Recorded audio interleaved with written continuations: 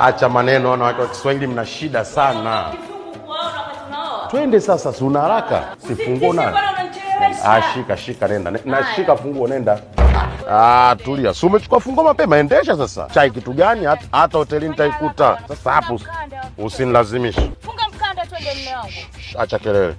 Mbona? Mimi ndo na gari, takuitia boda. Hapandi mtu boda hapa. Haya, acha hasira. sawa sawa sawa, mama Kevin, nafunga nafunga, ila na wewe unaacha maneno maneno. Asibi yenyewe imepoa, unaanza kupiga pisha kelele, inaboa. Ndio Ndo mambo taratibu. Asibi yenyewe imepona, ngeka na redio. Ah, eh, redio ya nini? Ah, Hebu ngoja mama Kev, redio gani? Ah, Hili wa asubuhi iko saga hii. mashallah. Good morning. Aha, Habari za asubuhi. Mwah. Mmeamka swalama.